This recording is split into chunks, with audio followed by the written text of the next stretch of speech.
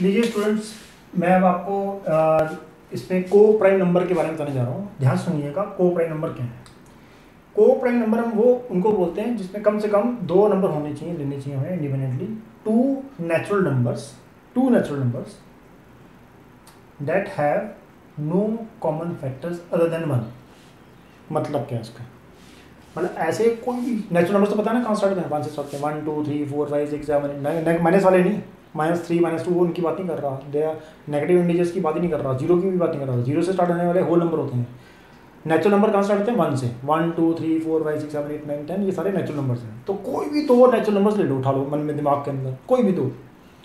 अब अगर आप उसके फैक्टराइज करते हैं और फैक्टराइज करने पर अगर उसमें वन को छोड़कर कोई भी वन को छोड़कर कोई भी ऐसा कॉमन फैक्टर नहीं आ रहा तो वो को प्राइम नंबर है। जैसे मैंने एग्ज़ाम्पल ले लिया twenty one and twenty three twenty one and twenty three. ये दो नंबर ले लिए ये दोनों क्या है? पॉजिटिव है। और नेचुरल नंबर्स हैं तो। तो ये ट्वेंटी वन का फैक्टराइज करता हूँ ट्वेंटी वन। तो three into seven seven into one ये इसके फैक्टर्स आ गए ट्वेंटी वन के। ट्वेंटी वन के फैक्टर्स क्या है? थ्री है सेवन है वन है। Twenty three. ट्वेंटी थ्री का twenty three one twenty three यानी कि ट्वेंटी थ्री का फैक्टर क्या है? ट्वेंटी थ्री इंटू वन तो वन को छोड़कर, मैंने पहले बोलिए अदर देन वन पहले बोल दिया वन को छोड़कर कोई भी इनमें कॉमन डिजिट नहीं दिखना चाहिए। तो इसमें थ्री और सेवन आ रहा है, इसमें ट्वेंटी थ्री आ रहा है।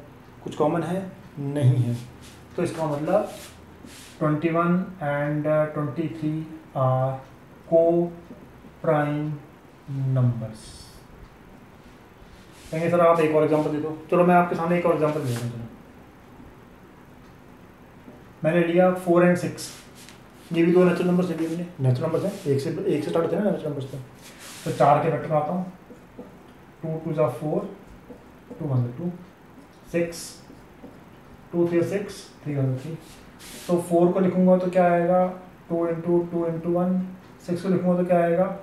Two into three into one अब वन तो चलो ठीक है वन अदर देन वन इसके अंदर ये देखो। ये कॉमन वेक्टर आ गया टू इसमें भी आ रहा है टू फोर वाले में भी और सिक्स के अंदर भी आ रहा है ये फैक्टर्स तो therefore four and six are not coprime numbers as they have common factor two in both of them तो मेरे ख्याल से अब आपको को प्राइम नंबर्स क्या होते हैं, ये भी पता लग गए हैं।